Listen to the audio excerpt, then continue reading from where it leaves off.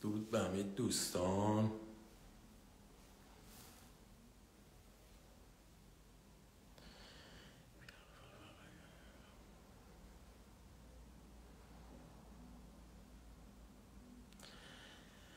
درود درود به همه دوستان.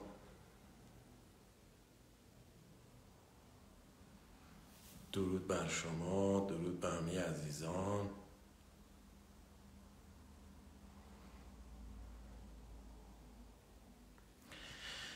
درود بر شما. خب صحبت نکردیم هنوز. فکر می‌کنم الان صدای من رو داشته باشید. یا اگر صدا ندارید برید بیرون از لایو دوباره برگردید. درود بر شما. بله. این بانو فکر می‌کنم فهمید من امروز سبزم و تازه انداختم تو آب. نوشت سیزده به در مبارک. درود به همه دوستان. درود بر شما بانو. بله صدا هست. خب دوستان live رو لطف کنید برای دیگران توی direct اشون بفرستید. امشب ساعت هشت. یه بارم که ما سر وقت اومدیم دوستان نیستن.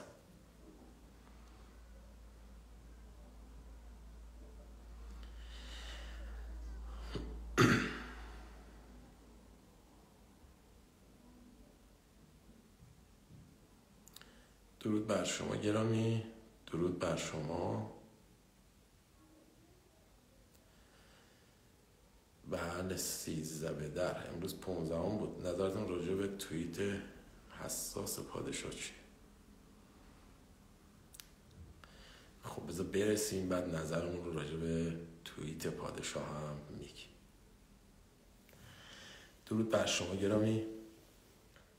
خب امروز سه شنبه 15 فروردین 2582 شاهنشاهی. با یکی دیگه از برنامه های رستاخیز سیمرغ در خدمت دوستان هستیم. امشب ما سر وقت اومدیم ولی خب دوستان مثل این که منتظرن ساعت ده شب ما طبق معمول live رو بذاریم. بر روی من صحبت رو انجام میدم. این live بعد save میشه روی برگه. دوستان دیگه هم می‌تونن بعدا ببینن. اما اول کار بگم دوستان های رستاخیز. مخصوصا همین صفحه اینستاگرامی که الان درش هستیم. رستم هم نیست. چرا رستم هست؟ ولی خب حالا احتمالا وسط های live پیداش بشه. این برگه به شدت تحت report از چند سو؟ از یک سو از سمت اراذل اوباش جمهوری اسلامی از یک سو از سمت اراذل اوباش تجزیه طلب ایران ستیز از یک سو تحت report اراذل اوباش مافیایی و از سوی دیگه از سمت یک مشت پادشاهی های ابله. چند تا برگه رو توی اینستاگرام برای من دوستان shot screen فرستادن که یه سری پادشاهی خواهان البته صفحات fake ها که به نام پادشاهی خواه هستن این برگه رستاخیز رو استوری کردن و از گوسفندانی که دنبالشون می‌کنن خواستن که برگه رستاخیز سیمرغ رو report کنن. حالا ارث پدرشون رو می‌خوان یا کاری کردیم باشون پولشو ندادیم نمی‌دونم. از اراذل اوباش جمهوری اسلامی خب انتظاری نمیره اونا وظیفه‌شون رو انجام میدن report کنن. از سایبری های تجزیه طلب هم خب انتظار نمیره خب رستاخیز سیمرغ مقابلشون ایستاده دستاشون رو رو می‌کنه. از اراضی سایبری هم خب بازیاشون رو ما به هم می‌زنیم. ولی از این ابلهانی که در لباس پادشاهی ها خودشون رو پنهان کردن از اینها نمی‌دونم. اینا نمی‌دونم دنبال چی میگردن که برگه رستاخیز رو گذاشتن برای ریپورت. به ما صحبتمون رو می‌کنیم تا اونجایی که بتونیم صدامون رو میرسونیم. بریم سراغ بحث برنامه. راجع به توییت پادشاه بذارید من نظری بگم. پادشاه قبلا چند روز پیش در یک نشستی که در تورنتو بودن توی live گذاشتم گفتم خیلی مستقیم و خیلی شفاف اشاره کردن گفتن من با اینها هم صحبت کردم و از مردم می‌خوایم که بیاید نقد کنید بیاید نظراتتون رو بدید بیاید انتقاد کنید بیاید بحث کنید بیاید قبول نکنید.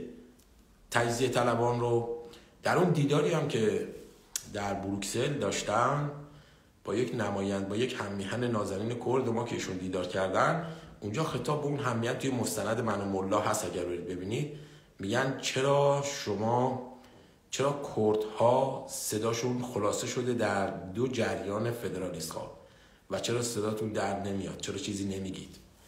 اینا همه علائم و نشانه های اینه که مردم خودشون باید شرکت کنن باید نظرشون رو بگن. و بازی های مافیایی رو به چالش بکشن. یادتون باشه دوستان اون مافیایی که کشور ایران الان در اشغالش هست یعنی مافیای پنج و هفتی همین پنج به اضافه یک جدید اینها سرمایه گذاری ها رو روی سناریوهایی می‌کنن که بتونن جواب بگیرن. و اگر بدونن که مردم بازی اینها رو به هم می‌زنن قطعا پلن رو عوض می‌کنن. و اینجوری شما می‌تونید دست پادشاه رو باستر بذارید روی اون میز مافیای جهانی که ایشون بتونه بهتر از منافع ملی ایران پدافند کنه. وقتی مردم نخواند وقتی مردم بزنن تو پوزه تجزیه طلبان بنابراین پادشاه مافیا رو ارجاع میده به نظر مردم میگه ببینید مردم چی میگن. بنابراین خیلی مهمه. حالا اون توییتی که ایشون زدن که جریان های جدید یا افراد جدید به اون مجموعه اضافه میشن اونم زیاد به قول معروف در نهایت همینجوری من بهتون میگم که با یک تروریستی مثل عبدالله معتدی و عرازل اوباشی مثل شیرین عبادی و دیگران انچوچک های مافیایی که شما می‌شناسید هرگز یک میهم پرست نمی‌تونه با اینها توافق کنه. ولی من اگه خاطرتون باشه یادتون باشه در live آخرم گفتم اینا اینها اون جریان مافیایی نیازمند یک جریان مشروطه تحت کنترله. برای اینکه اون قسمت خالی میزش رو پر کنه. و اگه خاطرتون باشه حتی اینم گفتم که این جریان داره توسط حجت الله کلاش و دار دسته سپاه پاسدارانش انجام میشه. خوشبختانه بعد از اون live آخر و ویدیویی که جناب کمالپور گذاشته بودن در اون زمینه آقای دکتر امیر تاهری اومدن و اعلام کردن که اصلا خبر نداشتن. و بدون, بدون اجازه ایشون عکس ایشون رو گذاشته بودن نام ایشون رو میبردن که آقای امیر تاهری هم قراره توی این سیرک بازی کنه. ولی خوشبختانه آقای تایری رسما اومدن هم توی توییتر هم تو چند تا برنامه تلویزیونی و گفتن نه تنها شرکت نمی‌کنم بلکه محکوم می‌کنم کاری که اینها می‌خوان انجام بدن. حالا اون عرضه رو باشه که برگاه رستاخیز سیمون رو به این بهانه که به آقای تاهری توهین کرده گذاشته بودن توی ریپورت حالا برن خجالت بکشن کلاشون هم بکوبن به دیوار. شما هنوز نمی‌دونید رستاخیز سیمور چجوری بازی ها رو به هم می‌زنه. در همین چند روز گذشته چند تا از سناریوهای مافیایی رو ما توی رستاخیز برهم زدیم. یکیش نشستی بود که در کالیفرنیا قرار بود تجزیه طلب ها تروریست های هفتی مجاهدین توابین و امثال هم با مهره های ارسالی جمهوری اسلامی کنفرانسی برگزار کنن دو روز و پادشاه رو دعوت کنن اگه خاطرتون باشه که با دو تا ویدیو از رستاخیز سیمور اون جلسه کنسل شد. اصلا پادشاه در اون جلسه شرکت نکرد و اون جلسه هم اتوماتیک خود به خود رفت توی باقالیا و مطلب دوم همین موردی بود که آقای حجت الله کلاش پاسدار. یادتون باشه دیگه اسم کلاشی رو خواستید بنویسید. حتما نام پاسدار رو بنویسید. پاسدار حجت الله کلاشی. که این برنامه بود که تدارک دیده بودن و می‌خواستن از آقای امیر تاهری از نام ایشون و محبوبیتی که تا حدودی بین ملت ایران داره مخصوصا در بخش پادشاهی خواه است استفاده کنن برای پیشبرد اهداف خودشون که خوشبختانه با عرض کنم خدمتتون که الان چه وقت پیام دادن آخر. با درایت جناب تاهری و هوشیاری رستاخیز سیمون اون بازی هم برد اینم در مورد این و مطمئن باشید آب و روغن هرگز قاطی نمیشن این مثال این یک مثال حقیقیه. شما نمی‌تونی آب و روغن رو قاطی کنی. می‌تونی قاطیش کنی به هم ولی در هم حل نمیشن بنابراین یک تجزیه طلب با یک میهم پرست با یک ایرانگرا هرگز نمی‌تونن توافقی در حتی در یک در یک تایم کوتاه مدت داشته باشن. این در مورد اون توییت و مطلبی که دوستمون سوال کرد. اما برگردیم روی اتفاقاتی که افتاده. من در این چند روز تعطیلات نوروز خب خیلی کارا رو داشتیم انجام می‌دادیم. شاید live خیلی کم می اومدیم نبودیم در حقیقت. دو تا بیشتر live نداشتیم در این ایام نوروز. ولی بیشتر تمرکزمون روی داخل بود. با بچه های داخل هماهنگی هایی داشتیم انجام می‌دادیم. کارهایی رو داشتیم انجام می‌دادیم. حالا چه در مسیر در راستای ارتش سری چه در راستای کارهای دیگه ای که داریم انجام میدیم.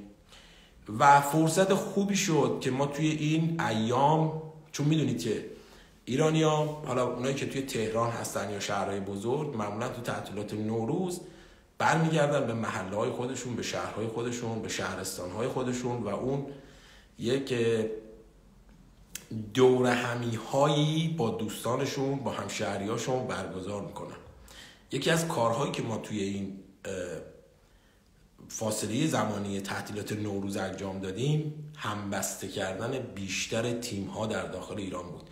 سازماندهی و آشنا کردن به قول معروف سرتیم ها خودشون اقوامشون رو دوستانشون رو هم رزمانشون رو رفیقاشون رو آوردن و توی مجموعه های خودشون گفتگوهایی رو انجام دادن شبکه هایی رو ساختن. برای اینکه ما بتونیم یک شبکه ملی سراسری در همه جای ایران از مبارزان داشته باشیم. برای برای چی؟ حالا به دلیلش هم بهتون در ادامه خواهم گفت.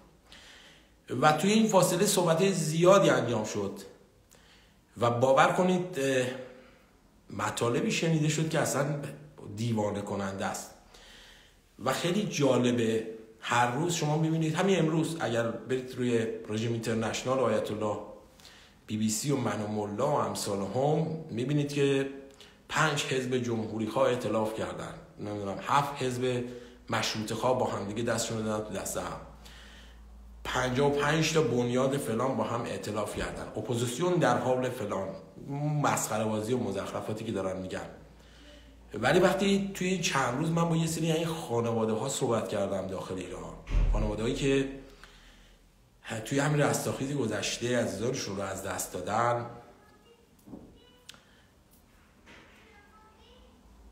صحبت هایی که آدم میشنوه از این خانواده ها باور کنید جز خجالت و شرم چیزی برای من ایرانی که در خارج از ایرانم باقی نمیمونه. عزیزانی رفتن توی خیابون ها بودن جمهوری اسلامی شلیک مستقیم غیر مستقیم این بچه ها رو از بین برد.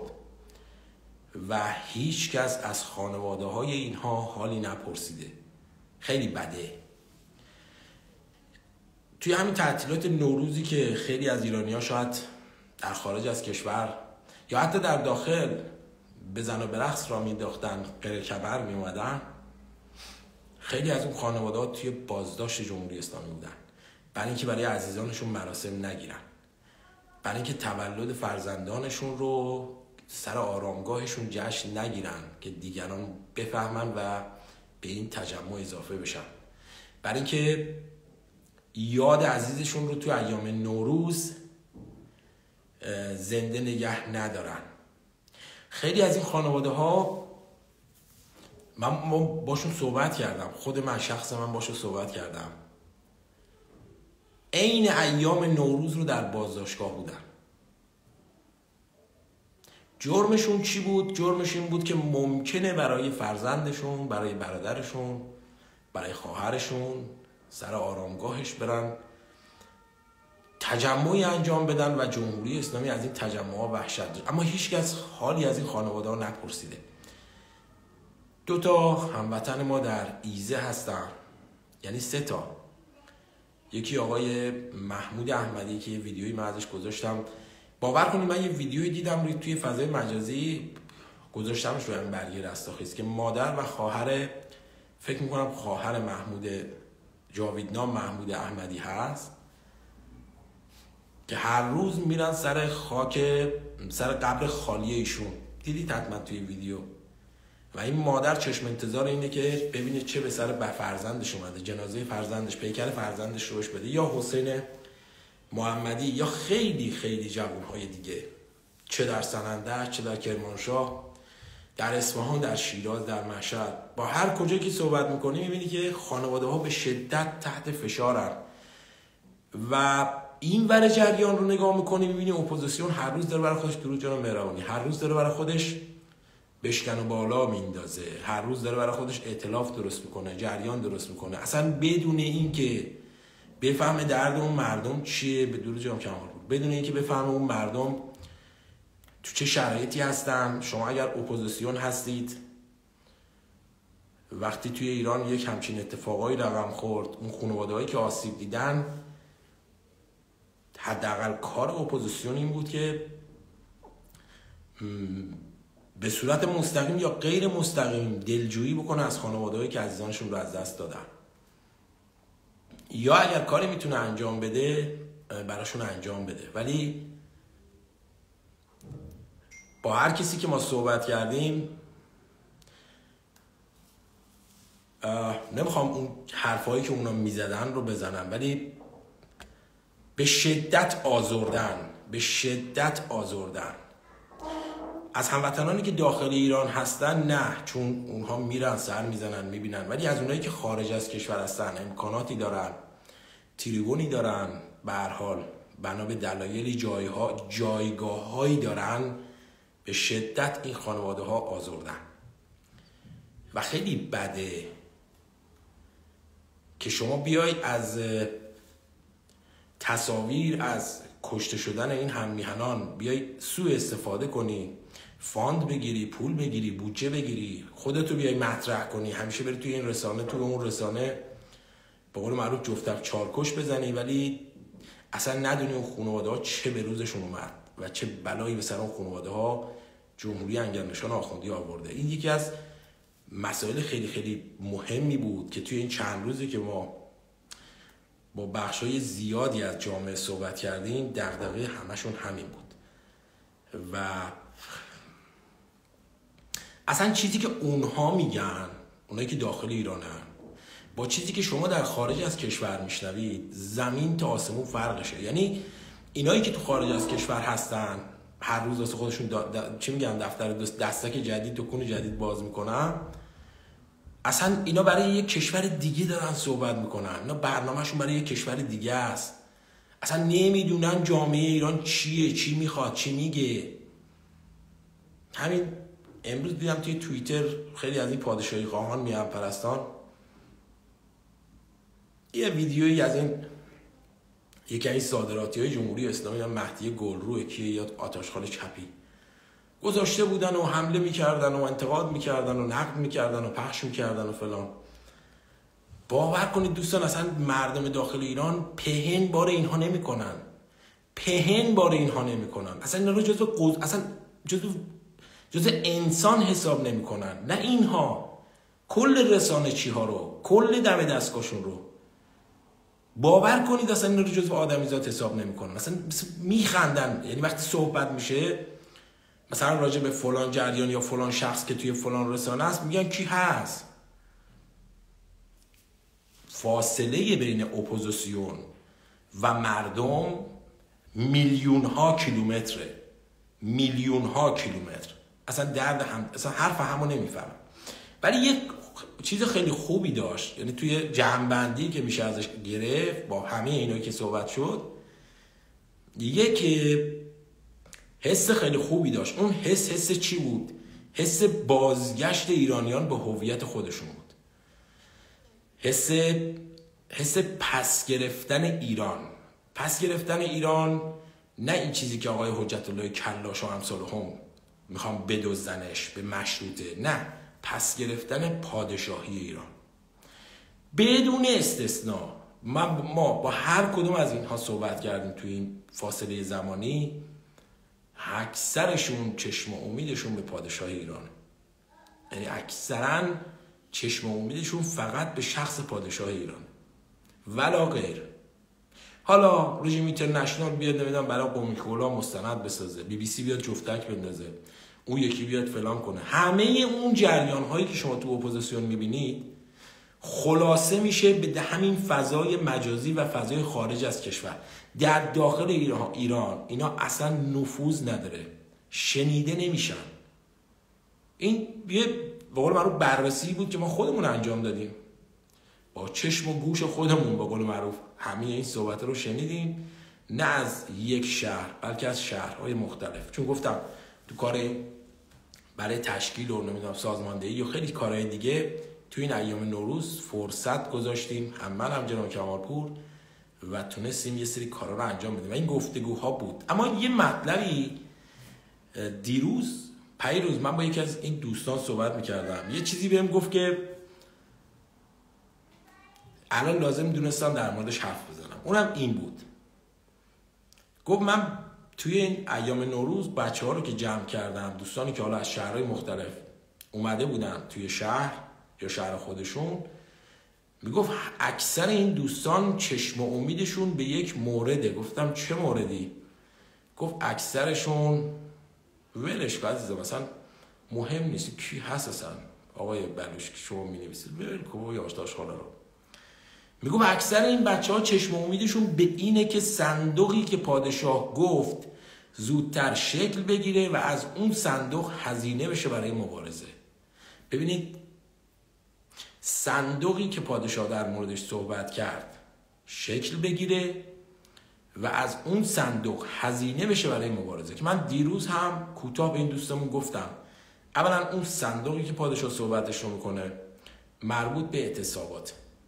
دوما پادشاه داره تلاشش رو می‌کنه که از پولهای بل... بلوکه شده ملت ایران در خارج از کشور استفاده بشه.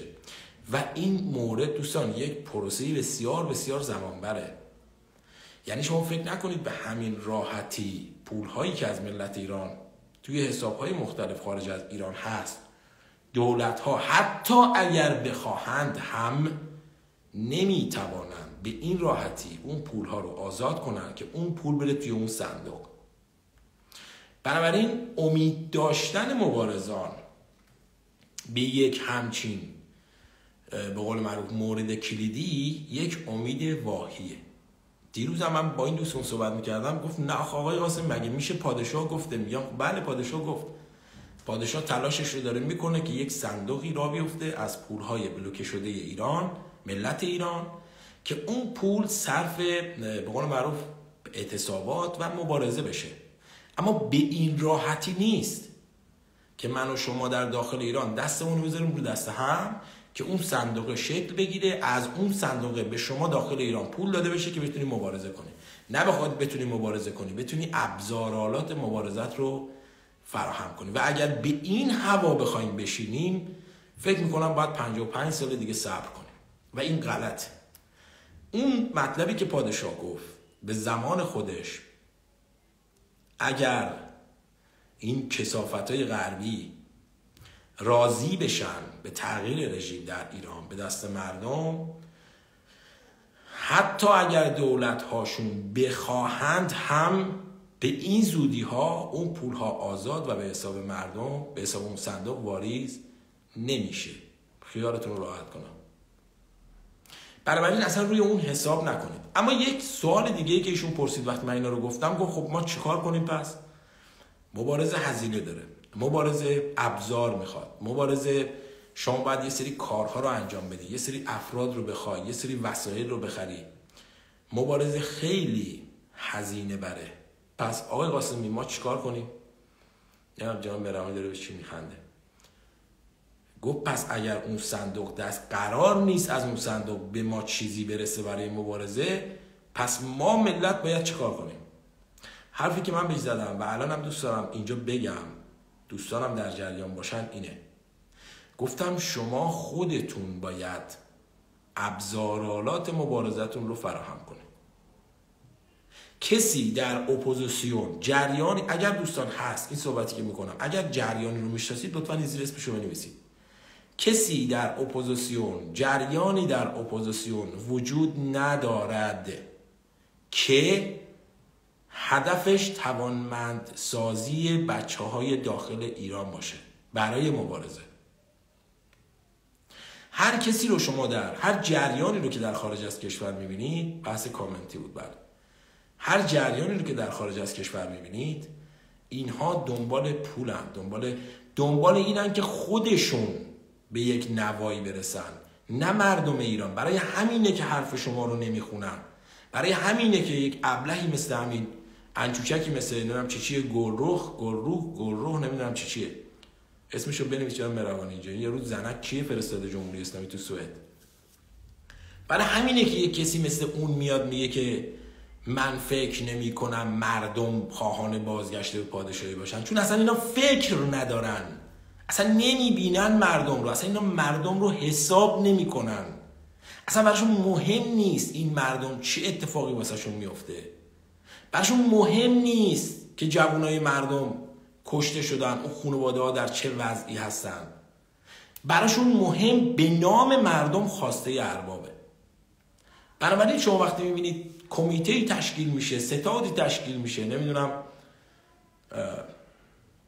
همایش های آنچنانی گذاشته میشه. اعتلاف ها انجام میشه علیرضا آخوندی. نه علیرضا آخوندی نه مهدی گروی ابلهی دیگه. علیرضا آخوندی که پروندهش بسته است. وقتی می‌بینید که اینها تشکیل میشه دوستان اینها برای اینکه بتونن پول بگیرن. همین دوستمون. یه سوال دیگه هم پرسید جناب کمالپور هم اینجا هست جناب مهربانی هم هست. امیدوارم نظرشون رو تو کامنت بنویسن. این دوستمون برگشت گفت که می‌تونم یه سوال شخصی بپرسم. گفتم ما شخصی که نداریم ولی خواهی مربوط به سیاسی بدونید بپرسید. گفت چرا آقای قاسمی؟ من شما رو می‌شناسم. جناب کمالپور رو می‌شناسم. جناب مهربانی هم می‌شناسم. سالها شما رو می‌شناسم. این همه هم دارید مبارزه می‌کنید. چرا آدم هایی که یه هفته است اومدن ده روز اومدن 15 روز یه سال اومدن حالا بنا به شرایطی تریبونی به دستشون افتاده نمی‌دونم توی تظاهرات داده بیدادی کردن اینها نامشون توی جریان ها و گروه های مختلف اپوزیسیونی هست. یعنی اگه قراره کلیپی ساخته بشه این آدما هستن. اگه قراره پتیشنی امضا بشه این آدما هستن.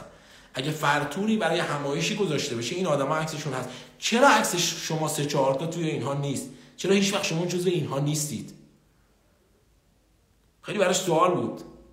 گفت چرا شما هیچ وقت جزو اینها نیستید؟ پاسخی که من بهش دادم گفتم ما چون مبارز سیاسی. اون آدمایی که شما می‌بینید فعال سیاسی هم. که در حقیقت بقال سیاسی هم. اونا دلال خونن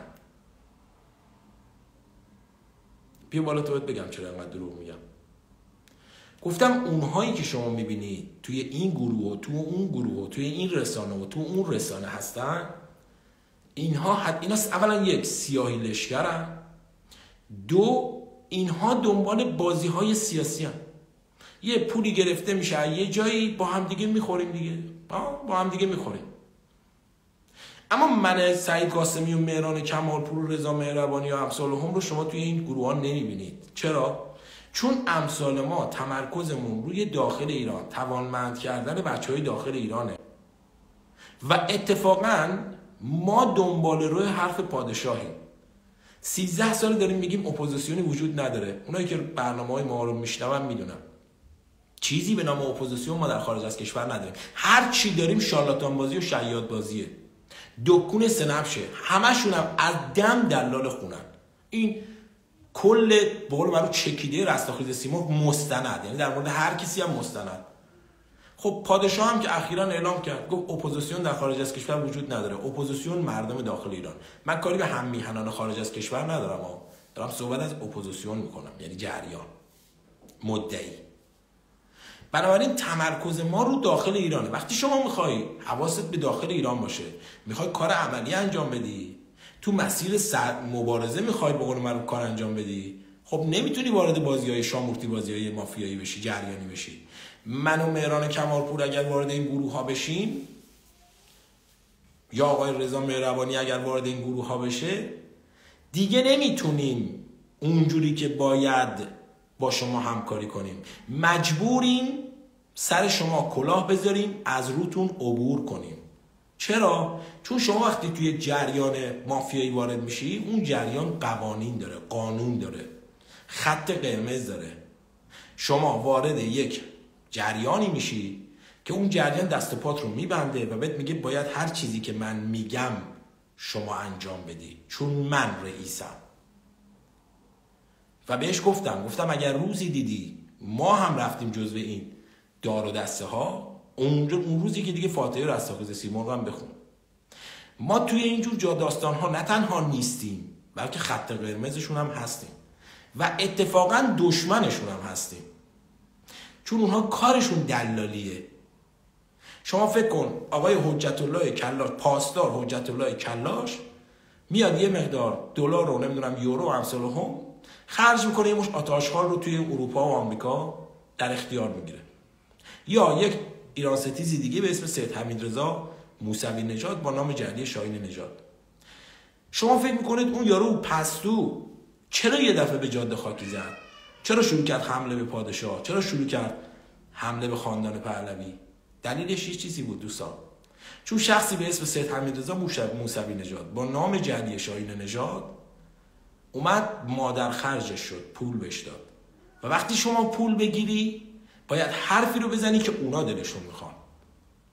بنابراین میری تو باقالیا و اون عمل یعنی معامله سر خون جوانهای داخل ایران. من و مهران کمالپور و رضا مهربانی سوال پرسید این سه اسم رو. توی این بازی ها نمیریم. بیا با بیا عزیزم.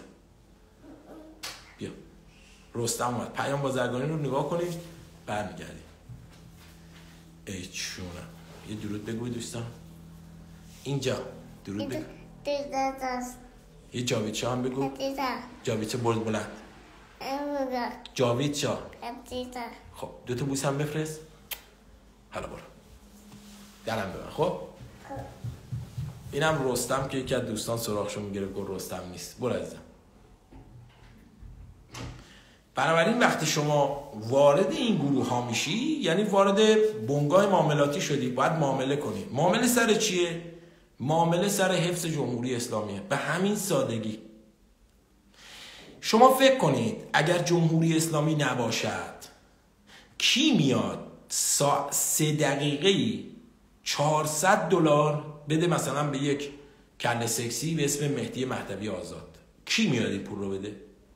شما فکر کنید اگه جمهوری اسلامی نباشه به مهدیه گل رو و امثال این آتاشخالا علی افشاری و این جکوچونه برا کدوم رسانه میاد هر سه دقیقه 500 دلار پول بده که اینها بیان زر بزنن که اون زرشون بشه؟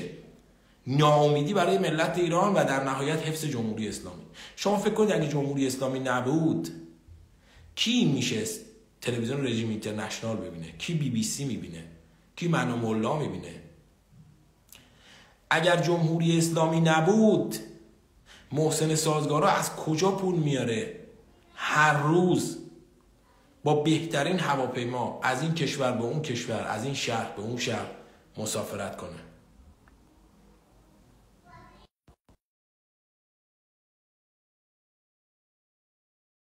یعنی بودن این همه این امکانات.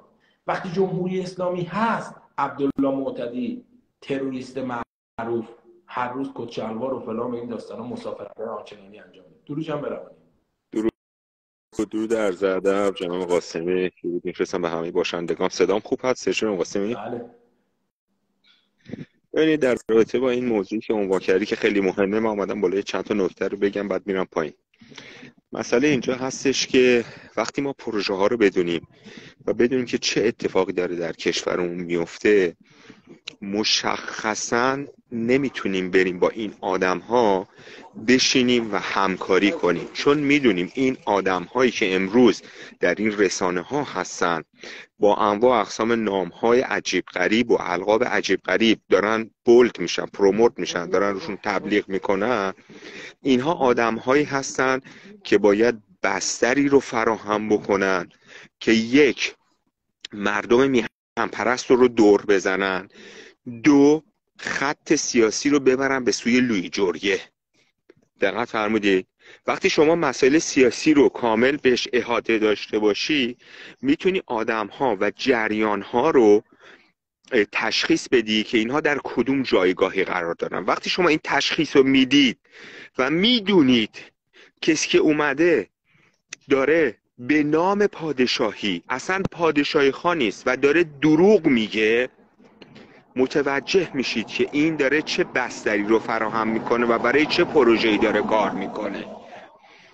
وقتی که الان یه عده به اسم پادشاهی خواه می‌خوان برن در اون در واقع خیانتگاه منشور بشینن بغل این آدمای ایران ستیز و به اونها اعتبار سیاسی بدن. یعنی چی؟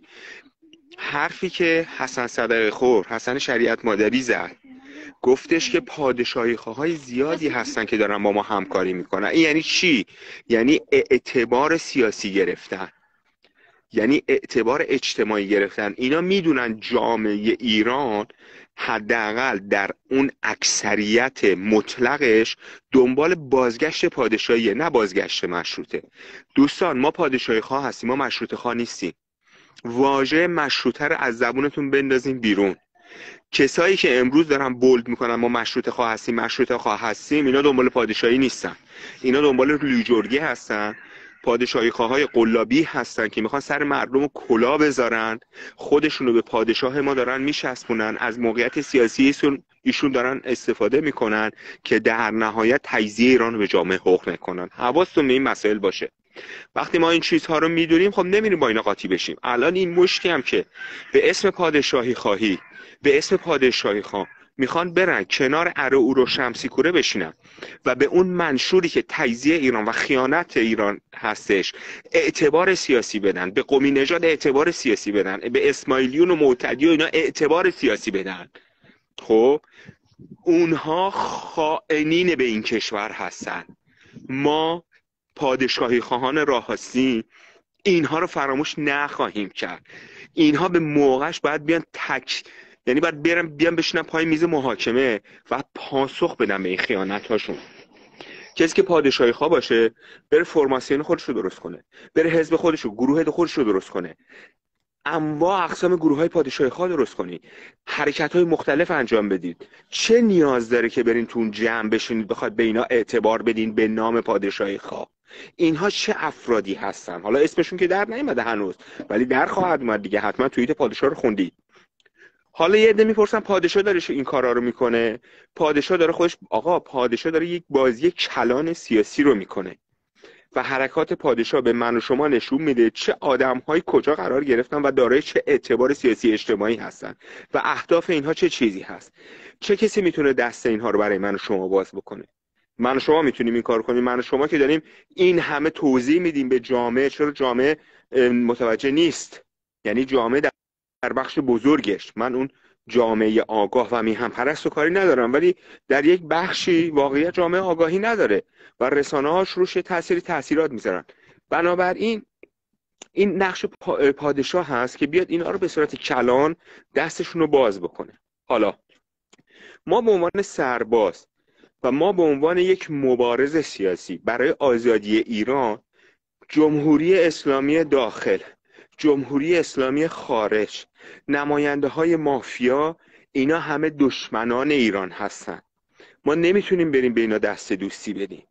کاری که ما می‌تونیم بکنیم حرکت های میدانی چه در داخل چه در خارج و آگاهی سازی هستش. یعنی جامعه رو آگاه بکنیم اطلاعات لازم رو بهش بدیم که فریب این پدر ها رو نخورن. در دام این آدما نیفتن.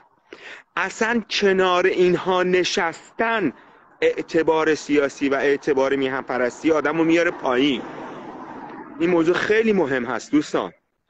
ببینید بحث مبارزاتی امروز نیست که هول بشی از هول حلیم بیفتی تو دی دی دیگه حلیم. ما ده سال دیگه هم کار داریم. 20 سال دیگه هم کار داریم. ایران قرار ادامه حیات بده. روش هاش متفاوت خواهد شد. مردم آگاه خواهند شد. جامعه به یک نقطه عطفی خواهد رسید که از روی همه اینا گذر خواهد کرد. اونجا هست که میان به حرف رضا مهربانی می‌رسن. اونجا هست که میان به حرف سعید, سعید قاسمی می‌رسن. اونجا هست که میان به حرف مهران کمالپور می‌رسن. و شاید شاید اگر ماها زنده باشیم نقش ما اون موقع حیاتی بشه. نقش ما اون موقع حساس بشه. سیاست که امروز فردا نیست. سیاست یک زندگی هست. سیاست یک خط ممتد و دراز مدت هستش. توی بازی سیاسی شما ما قرار نیست که بیایم سلبریتی بازی در بیاریم شه اگه می‌خوایم سلبریتی بازی در بیاریم اگر دنبال شهرت هستیم خب میریم هالیوود میریم هنرپیشه میشیم میریم خواننده میشیم. میریم تئاتر بازی می‌کنیم. اینطوری می‌خوایم خودمون رو معروف کنیم. مطمئن ما دنبال یه همچین چیزی نیستیم که. بنابراین بازی سیاست چند بچیه چند بعدیه و چند رنگ هستش. شما وقتی این مسئله رو می‌ذاری کنار هم دیگه اون وقت تازه شروع می‌کنی بازی سیاسی. اون وقت تمرکزت روی کارهایی هست که می‌تونه در جامعه نقش مثبت داشته باشه. هر چقدر کم هر چقدر کوچیک اما امپکتش یعنی انعکاس و پژواکش انقدر بزرگه که اصلا یهو همه رو شوکه می‌کنن نمونهش همین ارتش سری. برای مثال دارم میگم ها. نمونهش همین همایش های پادشاهی خواهایی که برقرار میشه. شعارهای ازش میاد بیرون که اصلا تن ایران ستیزان رو میلرزونه. و انعکاسش رو شما دارید می‌بینید این برابر بنابراین دوستان بازی سیاسی درش عجله ای نیست. حواس آدم باید جمع باشه کار درست رو بکنه. خط راست و درست رو باید انتخاب کرد. اولویت میهم پرستی هستش. اولویت ایران و نجات ایران هستش. و هر گروه و جریان و شخصی که بخواد بر ضد این موجودیت این تمدن اقدام بکنه دشمن ایران هست. شما به سادگی می‌تونید سره رو از ناصره تشخیص بدید.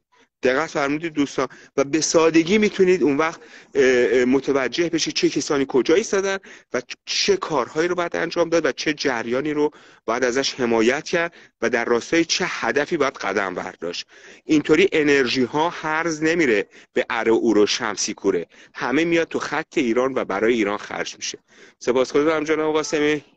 به درود بهتون میگم پاینده ایران و جاوید شاه. سپاس جناب مهربانی ایرانی خب صحبت جناب مهربانی هم شنیدیم. حالا برگردیم روی بحث به معروف ادامه بحث. خب بنابراین خواسته این بچه های داخل یا نگاهشون به این بود که صندوقی که قرار تشکیل بشه هزینه مبارزه رو بده. که حالا من بهشون, بهشون هم گفتم اون صندوق اولا خیلی زمان می‌بره تشکیل بشه. دوم در اون اندازه نیست که بخواد به مبارزان داخل ایران رسیده بشه که اونا بخوان همه مبارزان بتونن حرکت کنن باش سوم اون صندوق مربوط به بحث اعتصابات. چون ما بخوایم یا نخوایم جمهوری اسلامی خوشش بیاد یا نیاد مردم ایران تکون بخورن یا نخورن ایران در آینده نزدیک اتوماتیک محکوم به تعطیلیه.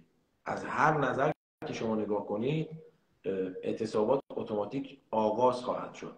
میگم حتی اگر اولا امیدوارم که مردم وارد صحنه بشن و این ارقام این اتفاق رو رقم بزنن. اما در نهایت به خاطر فروپاشی اقتصادی، فروپاشی سیاسی، فروپاشی صنایع، تولید، زیرساختها و همه این اتفاقات عملا کشور ایران به زودی در تعطیلی کامل فرو خواهد رفت. اصلا این درش تردید نکنید. ولی اون زمان باید یک جریانی باشه که بتونه مقابله کنه با یا مانع هرج و مرج باشه. وقتی یک کارگری چیزی دیگه برای خوردن نداشته باشه برای فرزندش نداشته باشه برای برای خانوادهش چیزی نداشته باشه ممکنه هر کاری انجام بده. و این هر کاری می‌تونه همون هرج و مرج یا اون اتفاقات بعدی رو رقم بزنه. بنابراین اون صندوق اهداف دیگه ای داره که به زمان خودش باید انجام بشه. ولی برای مبارزه دوستان اولا بچه های داخل ایران خودتون باید ابزار خودتون رو تهیه کنید. به هر حال خانواده دارید برادر دارید خواهر دارید پسرعمو دارید دوست دارید رفیق دارید. از هر کدومشون مبالغی رو بگیرید بذارید برای کار گروهیتون که بتونید ابزارتون رو تهیه کنید. حالا این ابزار انواع و اقسام لوازماییه که من جلوی دوربین در موردش صحبت نمی‌کنم ولی خودتون می‌دونید چی رو میگیم. و این شما خودتون هستید که باید این کار رو بکنید. در خارج از کشور واقعیت و حقیقت اینه که کسی دنبال اینجور مسائل نیست دوستان داخل ایران. کسی دلش کسی حاضر نیست از اون فاندی که می‌گیره از اون پولی که می‌گیره از اون بودجه‌ای که در اختیارش کشورهای مختلف قرار میدن کسی حاضر نیست برای تو ایرانی در داخل هزینه کنه. این این عین واقعیت و عین حقیقتی که من دارم بهتون میگم. به اون دوستمون گفتم الان در لایو دارم میگم. پادشاه رو بذارید کنار ایشون داره تلاشش رو می‌کنه. همه جوره هم داره تلاشش رو می‌کنه. در شاید صد تا جبهه هم داره ایشون میجنگه. ولی بیاید توی جریان ها که اینا که می‌بینید اینا همشون نگیم همشون 85 درصدشون دلال خونن و اصلا براشون مهم نیست چه اتفاقی بر سر شما در داخل ایران میاد یا نمیاد. چون ارسالی جمهوری اسلامی هم و بخششون هم خودشون جمهوری اسلامی رو آوردن. به همین عرضه رو باشه پسمانده های 57 خب اینا خودشون جمهوری اسلامی رو آوردن. عبدالله معتدی خودش جمهوری اسلامی رو آورد. حسن شریعت مداری خودش جمهوری اسلامی رو آورد و دیگرانشون هم به همین سبک بنابراین ما توی شرایطی هستیم که سال 57 یا قبل از 57 یک دنیای تصمیم گرفت که کشور ایران رو اشغال کنه. بنابراین از چپ و راست برای اون شورشیان 57 هزینه میشه شاید خیلی مسافرت هایی که اینها می‌کردن حتی پول هواپیما هم نمی‌دادن پول بلیط هم نمی‌دادن پول هتل هاشون هم نمی‌دادن. پول اسلحه هاشون که اصلا نمی‌دادن. اردشیر زایدی لعنت الله علیهش چون خیلی مسلمان بود خودش اقرار کرد. گفت ما از انبار ارتش اسلحه میدوزیدیم می‌دادیم به انقلابی تو مصاحبهاش هست می‌تونید ببینید. بنابراین شما اگر امروز امروز اما برعکسه. اون روز همه می‌خواستن ایران اشغال بشه حکومت پادشاهی بیفته. امروز همه می‌خوان جمهوری اسلامی بمونه به هر قیمت. بنابراین دنیا به فکر حمایت از من و شما ایرانی. مخصوصا شمایی که در داخل ایران هستید نیست. تا اونجایی هم که بتونه راهش رو میبنده. یه نمونهش هم بهتون گفتم. پولهای ملت ایران که اگر آزاد کنن اینها ما می‌تونیم پنج بار باش انقلاب کنیم با اون پول. ولی آزاد کردن اون پول یک دردسرهایی داره که حالا حالا فکر نمی کنم به این زودی به ملت ایران وسالش برسه. بنابراین بچه‌ای که داخل ایران هستید خودتون باید هزینه ابزارالات مبارزتون رو فراهم کنید. خودتون باید مدیریت کنید خودتون باید تهیه کنید و خودتون باید بجنگید. این کل داستانه. حالا ما توی نور شاهی ما توی ارتش سری با دوستانی که در ارتباط هستیم کارهایی که داریم انجام میدیم ماها تلاشمون اینه که بتونیم توی این مسیر کمک کنیم. اما کمک کردن ما من مهران کمالپور رستاخیز سیمو یا دوستان دیگه در اون اندازه نیست که بتونیم اون ابزارالات رو برای شما فراهم کنیم. ولی می‌تونیم یه کاری بکنیم. می‌تونیم با هم میهنانمون گفتگو کنیم. مثل همین که داریم انجام میدیم. اونایی که توی خارج از ایران هستید. اونایی که داخل ایران هستید نه. اونایی که خارج از کشور هستید. شما هستید که باید هزینه خرید ابزارالات بچه های مبارز رو فراهم کنید. بی تعارف. این شمایید که در خارج از ایرانید. دستاخیز سیمور نور شاهی و ارتش سری ظرف این چند ماه گذشته عملکردش رو به همه نشون داده. یعنی اونایی که ما رو می‌بینن یا دنبال می‌کنن عملکرد هم حرفمون رو دیدن هم عملش رو دیدن که ما دنبال چی هستیم و می‌خوایم چیکار کنیم و چه کارهایی رو انجام دادیم که خیلی هاش رو حالا در موردش اصلا صحبت نمی‌کنیم. بنابراین کسایی که در خارج از ایران هستید وظیفه خودتون بدونید که بیاید و ابزارالات مبارزان در داخل ایران رو فراهم کنید. ما نمی‌تونیم همه مبارزان رو پوشش بدیم. اصلا نیست غیر ممکنیه ولی می‌تونیم توی هر شهری یک بخشی یک جریانی رو مجهز کنیم که اون بخش و اون جریان تو روز به قول معروف موعود به قول مسلمان یا روز رستاخیز بتونه از جمعیتی توی خیابون پدافند کنه. من خیلی سربسته بحثام رو انجام میدم چون یه عرضه رو باش بدن میان همون یه تیکر ثانیه‌اش رو میگم به اینستاگرام میگن این داره تبلیغ می‌کنه برای فلان. و لایو یا برگه میپره. بنابراین ما توی ارتش سری و نور شاهی کاری که داریم انجام میدیم توانمند سازی بچه های داخل ایران. اما برای اون تجهیزات برای اون ابزارالات نیازمند سرمایه است. نیازمند پوله. خیلی راحت بهتون این پول از داخل ایران هم نباید تأمین بشه و تأمین هم نمیشه. دوستانی که خارج از ایران هستید.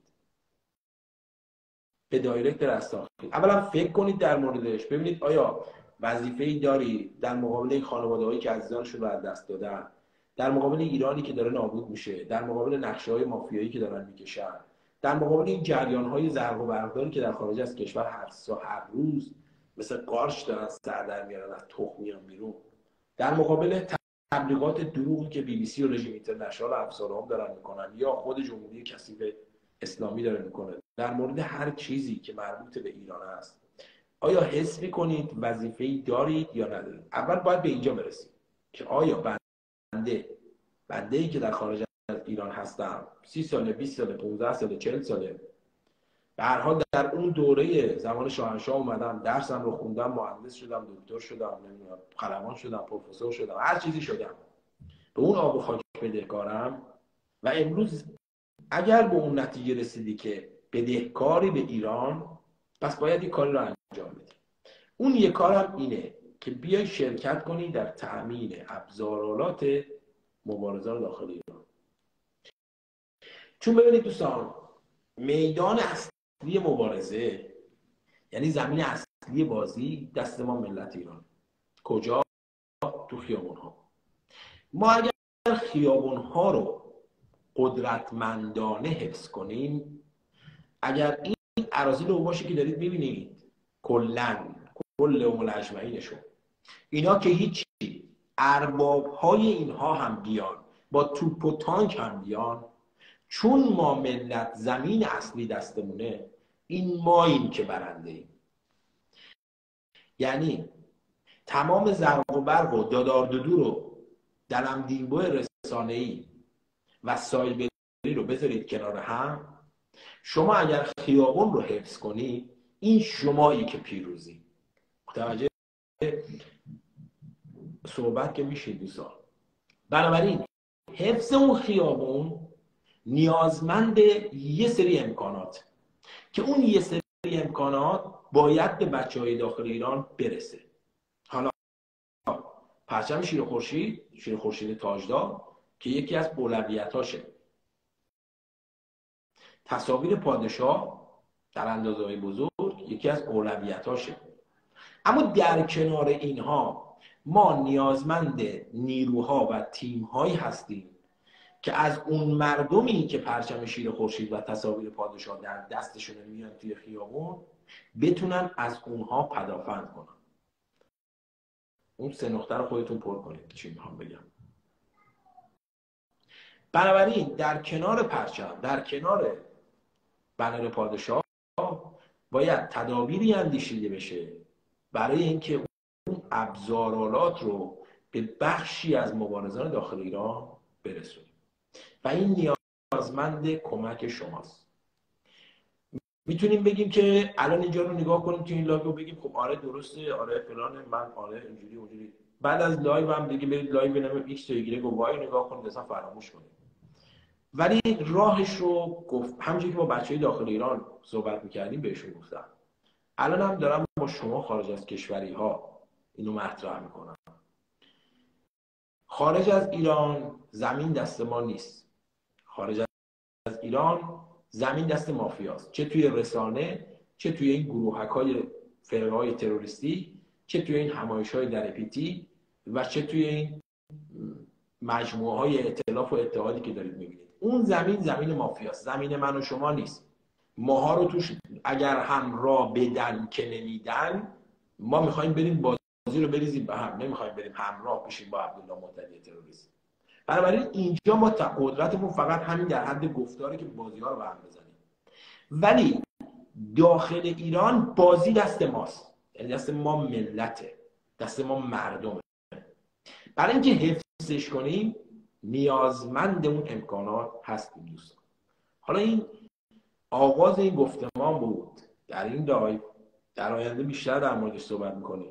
و امیدواریم که دوستان در خارج از کشور وظیفه خودشون بدونن که توی این مسیر کمک کنن.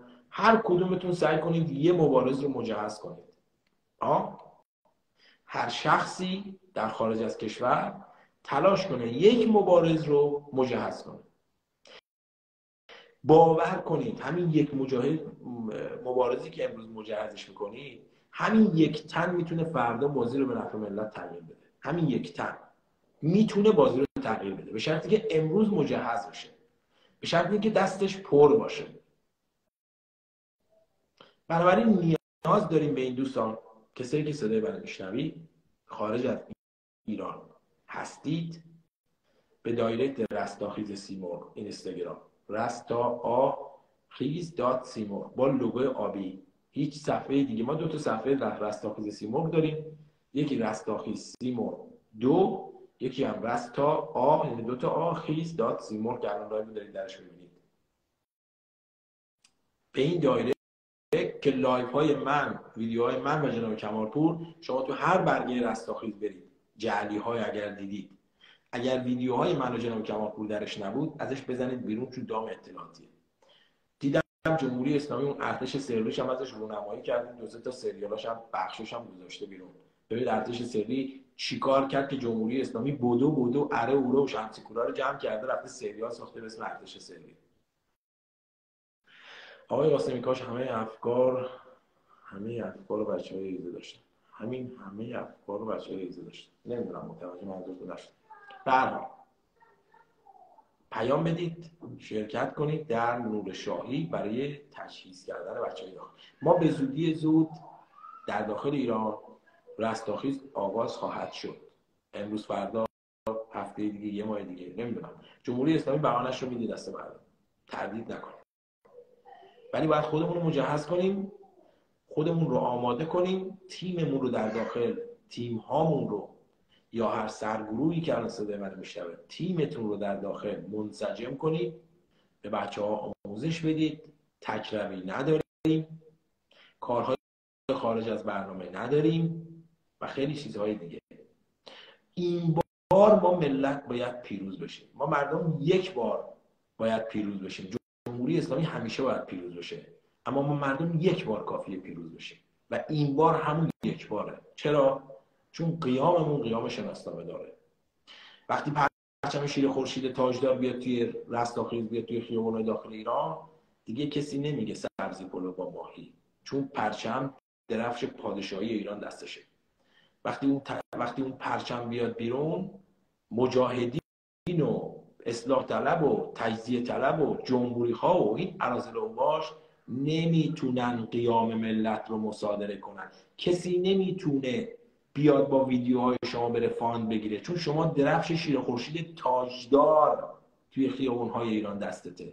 ببینید ارتش سری فکر کجا رو کرده. بی بی سی دیگه نمی‌تونه سانسورتون کنه بگه به خاطر سیب زمینی پیاز اومدید بیرون. چون درفش شیر خورشید تاجدار توی خیابون دستتونه. قومی کلا و انواع اقسام عرض باش نمی‌تونن قیامتون رو سانسور کنن. نمی‌تونن رستاخیز رو سانسور کنن. چون هر طرف رو نگاه کنن بالاخره دو تا پرچم شیر خورشید تاجدار می‌بینن. و کسی که اون پرچم رو می‌گیره دستش میاد توی اون تجمع مطمئن باشید شعارش بجز جاوید شاه هیچی نیست. بجز ما شاه می‌خوایم نم الله لعنت به تو روح الله هیچی نیست. این کاریه که توی ارتش سری داره انجام میشه. فکر شده در موردش برنامه ریزی شده کار شده. بنابراین باید قدرتمندتر انجام بشه. و این قدرتمندتر نیازمند اینه که دوستانی در نور شاهی شرکت کنن. امیدواریم بعد از این گفتگو بعد از این صحبت که حالا آغازش هست باشن دوستانی که بیان شرکت کنن. برای من سعید قاسمی نمی‌خواید بکنید. برای مهران کمالپور نمی‌خواید بکنید. برای رضا مهربانی نمی‌خواید بکنید. برای رستاخی سیمرغ نیست. برای خودتونه. برای کشورتونه برای مردمتونه. میگم شما الان این صحبت ها رو میشنوید ولی وقتی ما صحبت می‌کنیم با بچه های داخل تازه متوجه میشیم که چقدر غم چقدر قصه و چقدر گرفتاری. حالا اینا ما که کوچولوییم. حالا ما که کوچولوییم.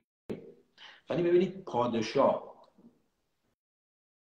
چه اعصابی داره؟ پادشاه چه تحملی داره؟ هزاران پیام. هزاران ایمیل هزاران تلفن هزاران درخواست. برها درود بر شما جناب رحیمی نازنین. به دوست دوستان زیاد نمی‌خوام این لایو طولانی بشه. سر یک ساعت یک ساعت دو دقیقه شد. منتظر پیام هاتون هستیم. این لایف که save شد لطفا برید دوباره لایو رو ببینید زیرش کامنت بذارید تا بیاد بالا. برگاه رستاخیز به شدت بسته است از چند جهت. بنابراین هم توی دایرکت بفرستید ویدیو رو هم بیاید کامنت بنویسید که این ویدیو بیاد بالا. برگاه رستاخیز اجازه داشته باشن نفس بکشن. نمی‌ذارم. حالا کاری که داریم انجام پاینده ایران جاوید شاه و بدرود. در مورد پرچم هم می‌تونید پیام بذارید تا توی دایرکت با هم دیگه گفتگو می‌کنیم. ببینیم چی میشه. پاینده ایران جاوید شاه و بدرود دوستان.